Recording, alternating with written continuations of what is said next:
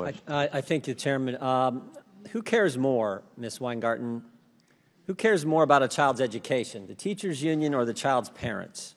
I would say that, um, Mr. Jordan or Representative Jordan, teachers, parents and teachers care about kids. Obviously, parents care about their own kids more than probably anyone else, but teachers and parents are real partners in children's education. Okay, that's fine. So, so you would say, but I ask you, who cares more? You would say parents. Well, parents, parents care. Look, I'm not, I'm, I'm not here to be in a competition. Parents are so important in children's lives. No kidding. Teachers are so important in children's lives I agree. too. Why'd you, uh, why'd you repost and praise the op-ed that was in the Washington Post? Uh, parents claim they have the right to shape their kids' school curriculum. They don't. And then you posted Um, they- that and you said this was a great piece that we should, that people should read. Head of Teachers Union praises op-ed claiming parents don't have a right to shape their kids' curriculum. You really believe that? The, um, the headline of that op-ed was not appropriate compared to the actual work in that op-ed. The work in that op-ed talked about, if you actually read that Disagree with that? op-ed. You disagree with the headline then? No, I disagreed with the headline. The work in that Okay. op-ed talked about how um, parents and teachers have to have a role So- so- in kids' education. So should the headline of Red, parents claim ha- they have a right to shape their kids' school curriculum? They do? Should that have been what the headline said? I don't, uh, you know, uh, Mr. Well, let me ask you, Mr. let me just ask you straightforward. Just let me ask straightforward. Do parents have a right to shape their kids' curriculum? Parents have a right to have a role in their kids' curriculum, yes. Who are the extremist politicians? You did 25 pages of your written testimony. You had 14 pages. Your law firm had, I think, the other uh, 11. And right at the end of the main body of your written testimony, before you get into the issue of today about the consultation you guys had with the CDC, you say in this last paragraph, uh, attacks by extremist politicians have undermined teachers in schools. Well, who, are the, think who are the extremist politicians? I think you just heard one, sir. So Miss Greene's one of them. I think, look. Okay, that's- that's I what you think think. when, I think the issue is the culture wars that are going on in schools right now, banning books, undermining teachers. How about this statement?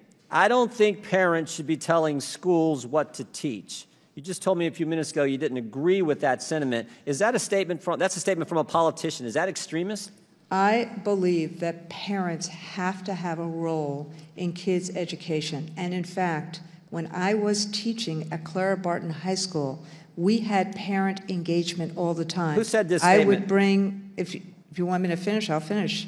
I, like so many other teachers, used to do, I was a high school social studies teacher. I know Yep. you were a wrestling coach. I was a high school social studies teacher. Yep. My wife I- taught. My wife taught. I- our kids went to public school. I- we appreciate good teaching. yeah, my coach, no, my high we- school coach, had a I huge mean, impact know, on my life. I know, and I honor that. Same here. But we, you know, so what I would do, and so many other teachers. But I as ask you, I ask you a specific question. I don't think parents should be telling schools what to teach. Do you know who made that statement?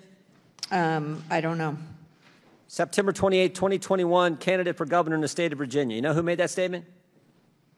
I don't. Are you talking about Mr. McAuliffe? I am talking about Mr. McAuliffe. He made that statement. Is that extremist? Is that an extremist political statement? In fact, what I did, Mr. Jordan, was when I heard that. No, we know what you did. You endorsed him and No, did a six-figure ad buy. Your I- organization when I- did 18 days later. When I did, Mr. Jordan, is when I heard that statement, I called Mr. McAuliffe and I told him I disagreed with him. But it wasn't enough to get you to not do a six-figure ad buy for his campaign. Well, what the six, what the ad buy did was do what we thought Mr. Koff was, which was That really same paragraph, supportive that same paragraph on page 12. I just got a minute. I just got a minute. Same, uh, same paragraph on page 12. You say most Americans disapprove of the culture wars that have saturated education policy. Who started the culture wars? I know that when you have banning of books, like a book about Well, let me Anne ask you- Frank, let me ask you like a a- book a around about Roberto Clemente, like a book about Ru- Ruby Bridges, that's wrong. Those that who think, let me ask you this, let those ask things were in Those Florida. who think boys should compete against boys in sports, or those who think boys can compete against girls in sports, which one, which side started the culture war? Which one of those positions? Sir, I am talking about, when I talk about the culture wars, I am talking about things like book banning. I'm talking about things like stopping teachers from teaching honest Is it, a, is it starting a culture war if you think uh, literature should be age appropriate? That's not, a, that's not I starting a believe that war. literature should be age appropriate too. Okay. I'm out of time. Thank you, Mr. Chairman.